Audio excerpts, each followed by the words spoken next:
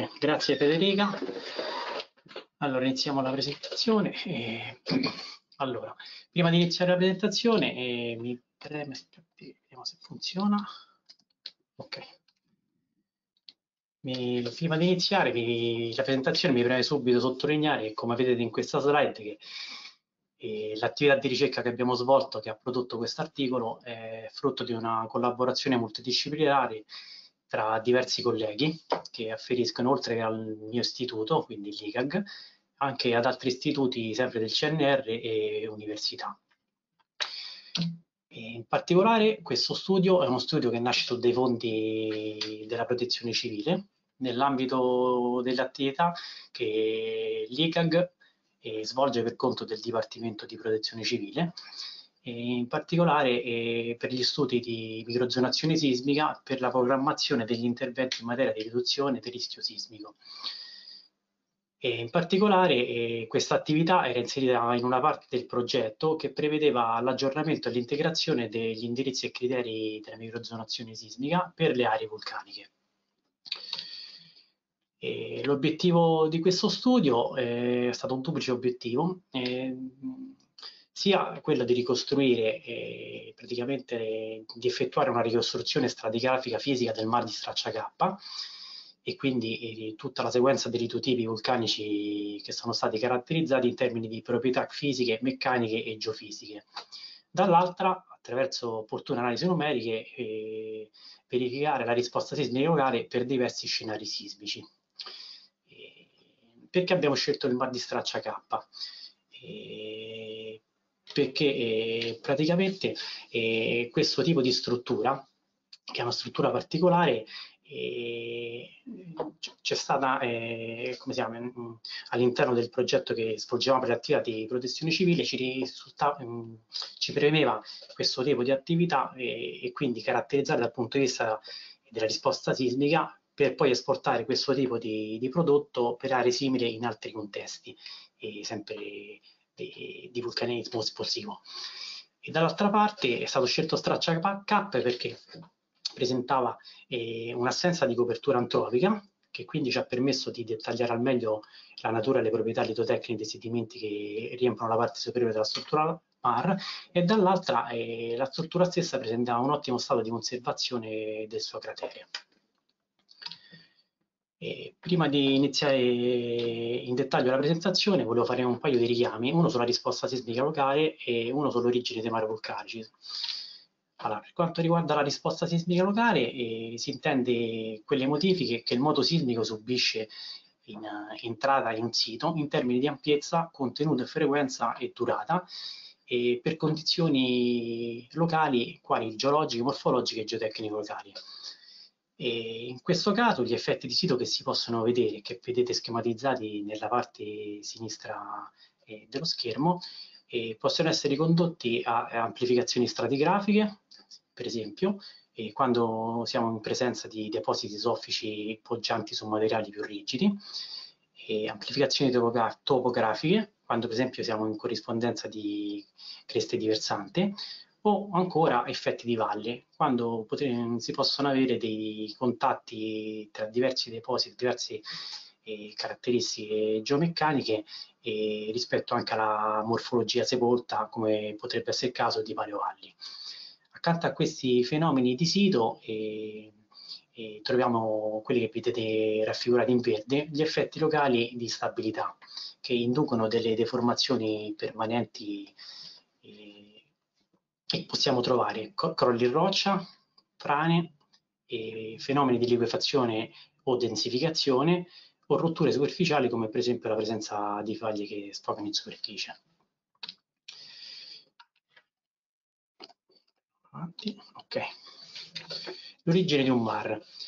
E in questa slide, appunto, eh, in maniera molto rapida, eh, volevo mettere, per chi ovviamente non è al dentro del, di questo tipo di strutture, diciamo che, che non conosce bene queste strutture, sono strutture vulcaniche che si formano durante eruzioni esplosive fratomagmatiche, originate a contatto tra magma e acqua di falda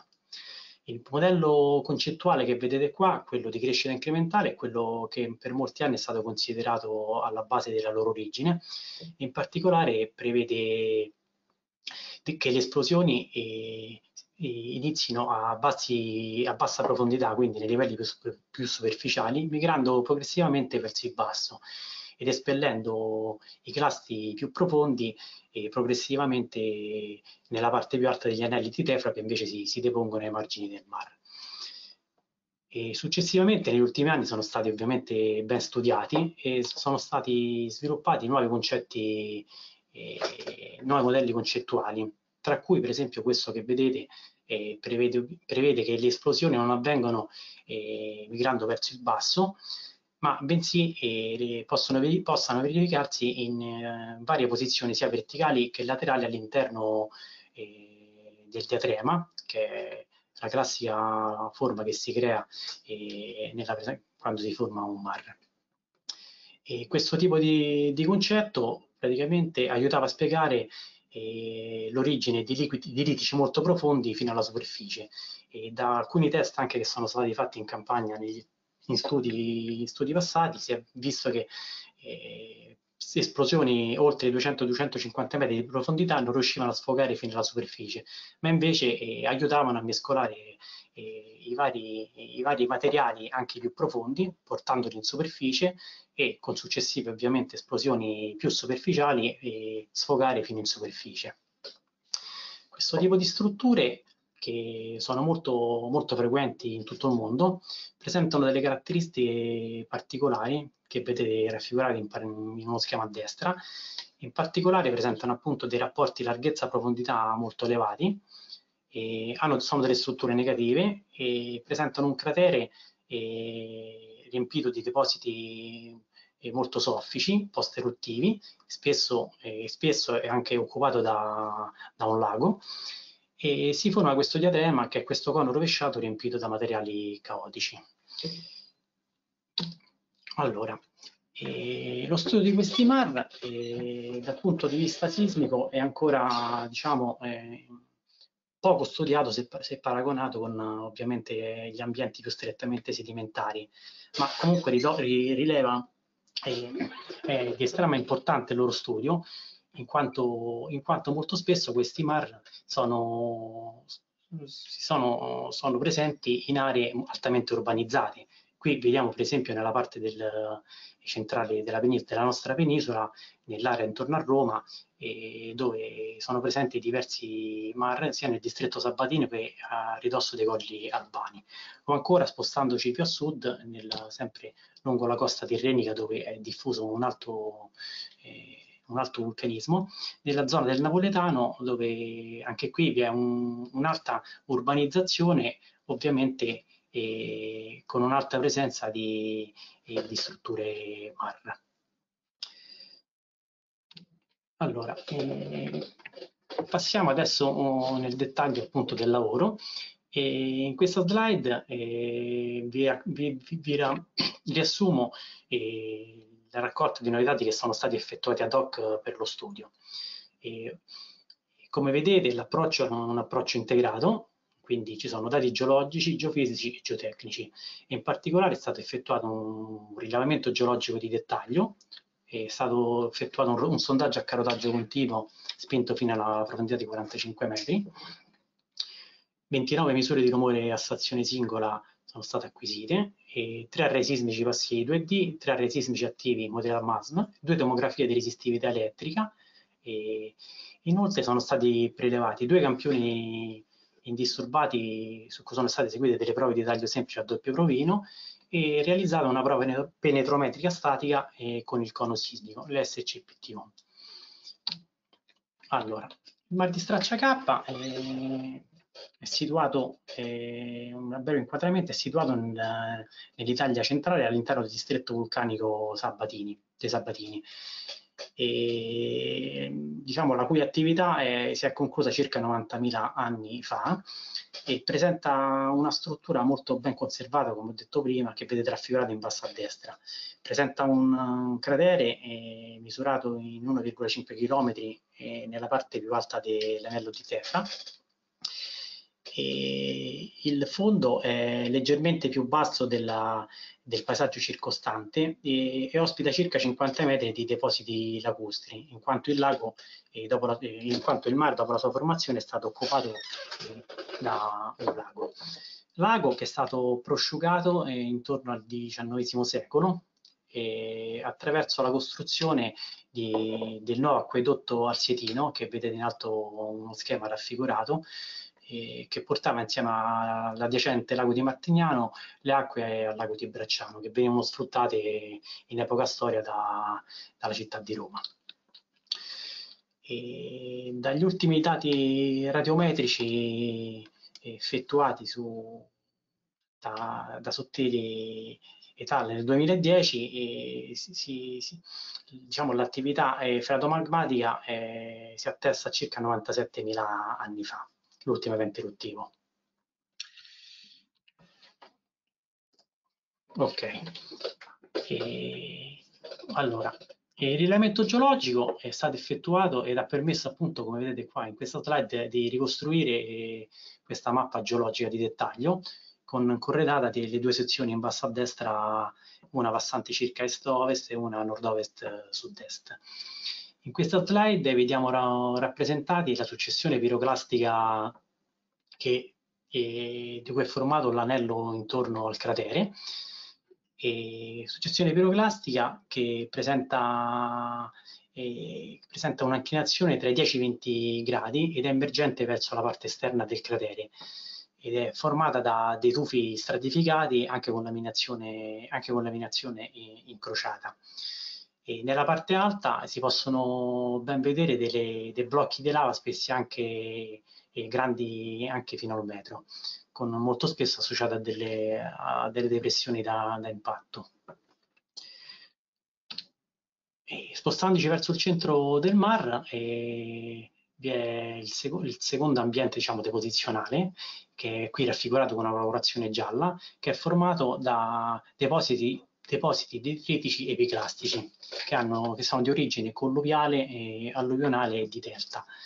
E sono rappresentati da un'alternanza di materiale eh, vulcanico rielaborato eh, sia a grana fine che grossolana e anche misto a, a litici di natura sedimentaria. E generalmente questi corpi formano dei, dei, dei corpi, questi prodotti formano dei corpi lentiformi che con un'inclinazione a basso d'angolo, in questo caso minore di 10 gradi, emergenti verso la parte interna del, del cratere. Spostandoci infine verso la parte interna del cratere, e, e vedete raffigurati i depositi, i depositi lacustri in, colo, in colorazione azzurra. E in particolare è stato realizzato, come dicevamo prima, un sondaggio ad hoc, l'SS1, che spinto fino alla profondità di 45 metri, che ha permesso di vincolare eh, anche la stratigrafia.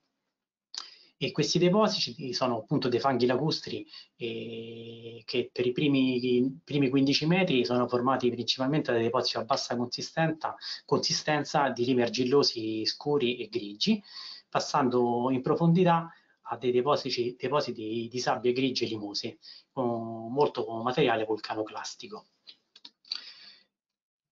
E in alto a destra vedete rappresentate due, due, cassette che sono le due cassette di sondaggio dove sono stati prelevati i due campioni C3 e C5, uno nelle argille superficiali e uno nella parte sabbiosa la profondità di 24 metri, che sono stati successivamente poi lavorati in laboratorio geotecnico. Ok. E, effettuato diciamo, tutto il nostro rilevamento geologico, eh, siamo passati all'acquisizione eh, di dati geofisici. In questa slide eh, appunto vi, vi mostro oh, le 29 registrazioni di rumore ambientale a stazione singola che sono state acquisite principalmente lungo le due direzioni che vedete raffigurate che rappresentano le due direzioni sia delle ERT, che sono le tomografie elettriche di resistività, che passano all'incirca presso due, i, le due sezioni geologiche che abbiamo visto prima. E, allora, in questa slide eh, vediamo il risultato, il primo risultato de, delle indagini HVSR, quindi le misure di rumore ambientale a stazione singola,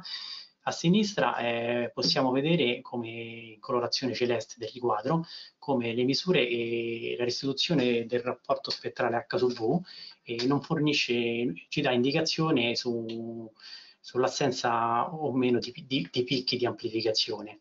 Cosa che invece inizia quando ci spostiamo verso la parte epiclastica, quindi andando verso il centro del, del cratere, che vediamo a destra nel riquadro giallo, dove le curve HVSR mostrano dei pic, eh, cominciano a mostrare dei picchi ben evidenti anche di amplezza molto, eh, molto elevata. Spostandoci infine nella parte più centrale, eh, qua eh, diciamo, le misure a stazione singola di noise hanno praticamente eh, messo in luce dei de, de, de picchi ad ampiezza molto elevata, eh, anche, anche dell'ordine degli 8-9 punti. E possiamo, una prima indicazione che si può vedere da, da questo riquadro è che andando dalla, dal bordo esterno, quindi dalla misura T12 alla misura L3 raffigurata nella mappetta, quindi spostandoci verso la parte più centrale più profonda del cratere, e le misure praticamente subiscono, i rapporti spettrali subiscono del, il picco raffigurato nei rapporti nei grafici rappresentati, subisce una diminuzione della frequenza di risonanza che passa da 2,34 a 1,46, indicando ovviamente un approfondimento eh, dell'interfaccia risonante, e l'ampiezza passa da un'ampiezza circa 3 diciamo, verso il, il, contatto con i depositi epiclastici gialli a, a, a ovest, a, fino a circa 7 nella parte della L3 che è circa verso la parte centrale del, del mar. Accanto a queste misure a stazione singola sono state, eh, come dicevamo, eseguite due tomografie elettriche. La prima, qui raffigurata, eh, circa nord-ovest sud-est e circa lunga 1400 metri e vedete raffigurata eh, con sopra eh, in confronto le tre, tre misure selezionate che, che, stanno ad indicare i tre ambienti principali di questo mare, cioè la parte di, a sinistra, il T15 sull'anello di Tefra, quindi su materiali più consistenti che non prevede diciamo, grandi picchi di, ampli, di risonanza e, la tomografia elettrica allo stesso tempo eh, mette de, degli alti resistivi che stanno a indicare materiale più, più competente, spostandoci, come dicevamo prima, verso la parte centrale del mare, quindi passando per esempio nell'L5 che sta sui materiali epiclastici, il picco inizia ad avere una sua consistenza fino ad arrivare al T17 nella parte centrale dove il picco è, è, molto, è, molto, è molto elevato in ampiezza. E in questa parte appunto la tomografia elettrica ci mostra un basso resistivo che si segue su tutto diciamo, il cratere, la parte centrale del cratere che sta a indicare la parte lacustre più superficiale. L'altra traccia della tomografia elettrica è questa che vi mostro, l'ERT2, circa est-ovest,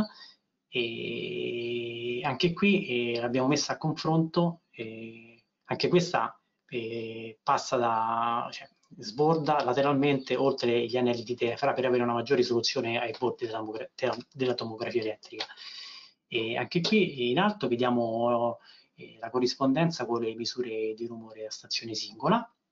come precedentemente visto, mentre nella parte bassa possiamo vedere i tre, i tre, profili di velocità delle onde di taglio VS che sono stati ricavati dai tre array sismici, eh, eh, sia attivi che passivi, e elaborati in maniera congiunta con eh, l'elettricità delle curve di, di, di HVSR. E anche in questo caso uh, sono stati sovrapposti sopra la tomografia elettrica per avere una, una corrispondenza del dato e il buon accordo si può vedere in tutti e tre gli ambienti, diciamo settori, diciamo non ambienti. Nella parte occidentale, quindi verso ovest, vediamo appunto che il profilo di inversione, quindi il profilo VS, presenta delle velocità eh, subito abbastanza elevate, eh, che corrisponde al fatto di assenza di picco nella misura di, di rumore e all'alto resistivo della topografia elettrica. Viceversa, spostandoci nella parte più interna, si vede appunto come le velocità de derivate eh, dal profilo dal profilo RI1 eh, sono, sono, molto basse per, per, per molti metri e allo stesso tempo, eh, come precedentemente visto nella RT1, anche questa ci fa vedere un basso resistivo che indica appunto eh, materiali a bassissima consistenza.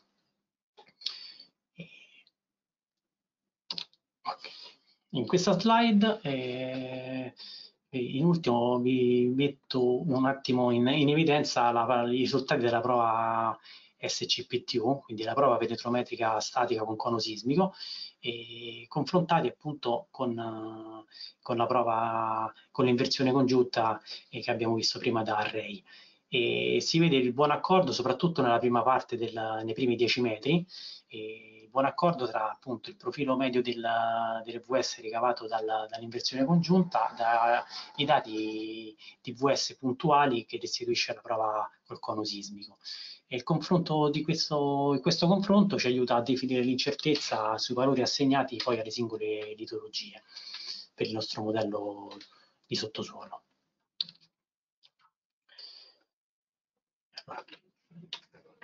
E in questa slide e passiamo invece a, a, ai campioni che abbiamo rilevato nel sondaggio stratigrafico e che come dicevo prima sono stati elaborati, eh, sono stati lavorati in laboratorio ed in particolare eh, è stato studiato il loro comportamento ciclico attraverso questo, il dispositivo di taglio semplice a doppio campione qui raffigurato eh, presso il laboratorio di ingegneria geotecnica e strutturale della Sapienza di Roma con il professor Lanzo.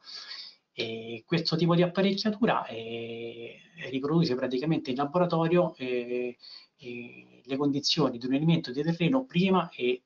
durante l'evento sismico e, ed è in grado di, di, indagare praticamente in un unico test eh, le sue proprietà cicliche e con deformazioni, eh, con deformazioni da molto piccole a molto grandi. E le prove, come dicevo, sono state eseguite su due campioni, un campione il primo è a più bassa profondità, il C3, tra 10,5 e 11 metri, rappresentato appunto dalle argille organiche lacustri. Il secondo sulle sabbie limose lacustri a profondità di 24-24,5. Questi due grafici eh, praticamente restituiscono i, i parametri dinamici, dinamici standard, eh, ovvero il modulo eh, di taglio secante G e lo smorzamento D che sono, verranno poi utilizzati nelle successive analisi numeriche. Nelle successive analisi numeriche.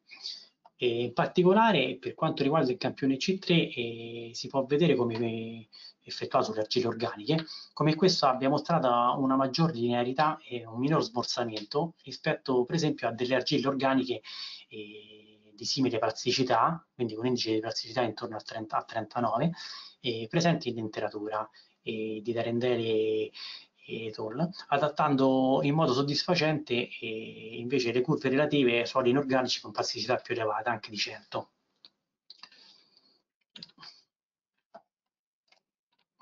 Ok.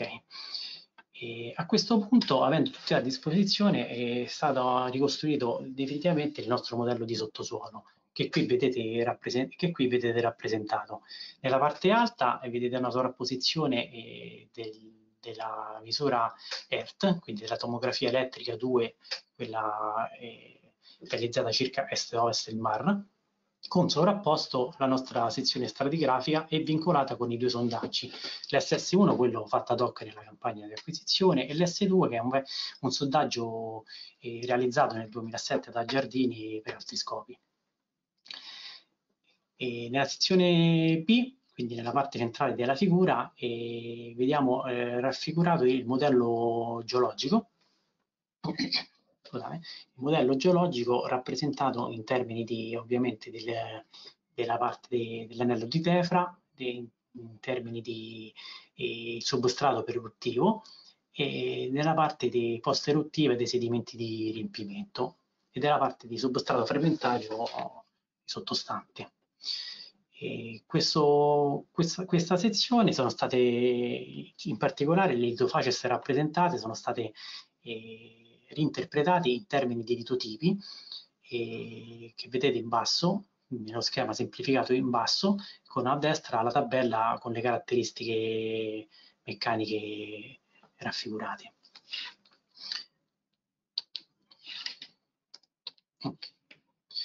Allora, a questo punto eh, entriamo nella seconda parte della, della, presentazione che prevede appunto eh, la parte delle analisi numeriche di risposta al sito.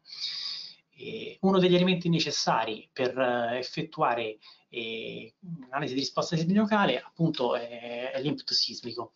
E nel caso specifico, essendo eh, l'area di essendo eh, da una parte eh, a circa 70 km dalla, dall'Appennino centrale, da una parte in un ambiente vulcanico, si è ritenuto opportuno diciamo, prendere in considerazione due scenari, uno vulcanico e uno tettonico. E in particolare a sinistra eh, vedete l'input per lo scenario vulcanico che e, e sono state utilizzate le registrazioni nord, sud, est, ovest di una, di una registrazione eh, alla stazione accelerometrica di Bronte eh,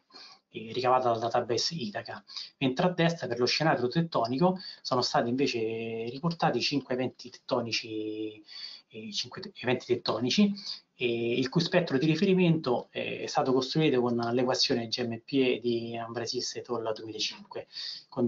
con, valori di riferimento pari di magnitudo pari a 6,5 e distanza dall'epicentro di 70 km, che è quella che poi ovviamente presenta il mare rispetto alle strutture appenniniche. Allora, una prima analisi è stata effettuata e qui mostrata sulla, eh, per vedere l'influenza dell'eterogeneità laterale. Eh, in particolare eh, è stato considerato, oltre il modello diciamo, precedentemente visto di litotipi, un modello semplificato dove praticamente i due litotipi 3B e 4B, che vedete raffigurati nella tabellina, sono stati accorpati e a cui è stato assegnato un valore di VS medio di circa 850 metri secondo. I risultati sono stati eh, ottenuti praticamente in termini di rapporti di accelerazione spettrale nei tre punti A, B e C che vedete sotto nella sezione raffigurati. E ovviamente sempre per i due scenari di input, eh, sia in approccio lineare, lineare che, eh,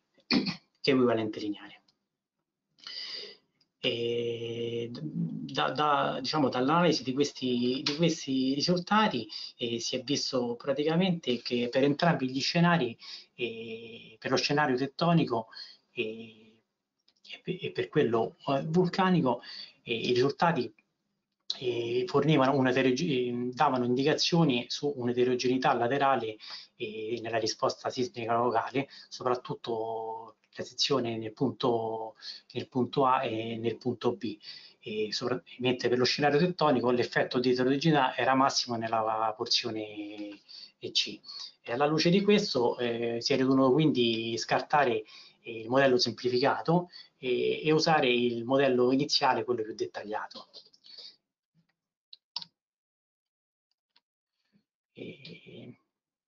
Sono state quindi effettuate analisi di risposta semiocale sia 1D che 2D, sempre nei medesimi punti ABC prima indicati e qui anche raffigurati. E in particolare in questa figura eh, viene rappresentato il rapporto spettrale medio tra il 2D e la 1D, eh, sia per scenari te tettonici che per, sempre per scenari vulcanici, eh, sia per l'analisi sia lineari che lineari equivalenti. E da questa figura si può osservare come i rapporti di accelerazione spettrali sono massimi sempre verso il centro del cratere per, per, entrambi, per entrambi gli scenari.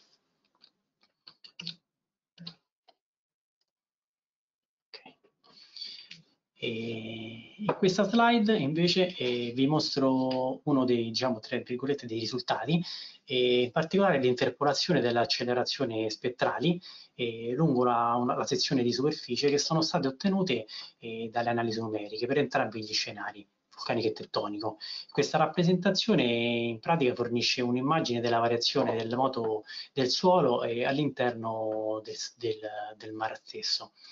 E si vede chiaramente come l'amplificazione del moto nella parte più interna eh, del mare sia molto maggiore rispetto alle unità piroclassiche che invece formano un'area all'esterno. E, e, in particolare vengono evidenziate eh, le, la massima accelerazione spettrale che raggiunge eh, circa 6G in corrispondenza dello spessore massimo dell'isotipo 1 che è quello che, che, che, condiziona maggiormente la risposta sismica locale essendo, avendo delle caratteristiche eh, geomeccaniche mo molto scadenti.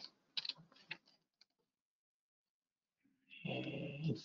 allora, in termini di risposta di sito, eh, qui mostriamo, possiamo dire che diciamo, a valle di questo studio eh, che il modo del suolo è atteso attraverso una struttura MAR e è strettamente correlato eh, sia alla distribuzione spaziale che allo spessore dei depositi, depositi post-eruttivi eh, che determinano un forte contrasto eh, con oh, i sottostanti depositi, depositi di riempimento del diatrema che invece presentano delle caratteristiche molto più consistenti. In particolare eh, nel riguardo a sinistra, nella figura a sinistra, eh, viene proposto uno schema semplificato eh, di Mardia Trema, dove la distribuzione eh, spaziale dei depositi viene correlata con l'amplificazione sismica che è massima nella parte centrale del cratere. E a destra invece viene, proponiamo eh, una correlazione schematica tra l'eterogeneità stratigrafica verticale e, e l'amplificazione prevista del modo al suolo, che potrebbe essere considerata per un sistema MAR teatrema eh, simile al nostro caso di straccia e, e cioè per quegli ambienti vulcanici eh, dove eventi caotici e, e, violenti possono determinare la messa in posto di, di corpi, depositi eterogenei sia nella direzione verticale che laterale.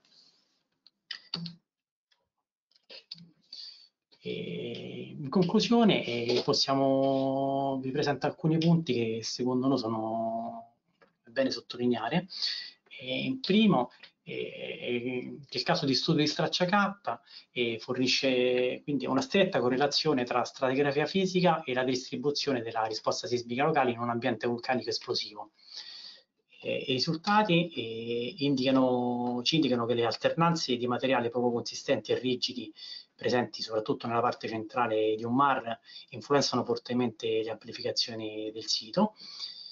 E lo studio eh, ci mostra eh, che la tomografia elettrica di resistività elettrica è una prospezione geofisica molto utile per evidenziare le principali caratteristiche eh, sia morfologiche che per la ricostruzione della distribuzione dei litotipi all'interno del, del mar stesso, mentre gli array sismici 2D eh, ci permettono di attribuire dei valori medi alle velocità delle onde S, delle onde S di taglio. E misure di rumore ambientale a stazione singola che danno una buona risoluzione per discriminare principalmente il contrasto tra la rigidità dei depositi, depositi lacustri ed epiclastici con quelli più profondi che riempiono il diatrema. E, e pertanto eh, possiamo dire che lo studio di Straccia K dimostra che anche se il modello eh, 1D può essere rappresentativo eh, degli effetti attesi, un approccio 1D potrebbe non essere sufficiente per spiegare i possibili effetti eh, in questi contesti vulcanici complessi eh, che si potrebbero andare a sottovalutare significativamente alcune delle, delle amplificazioni. Io ho concluso e grazie per l'attenzione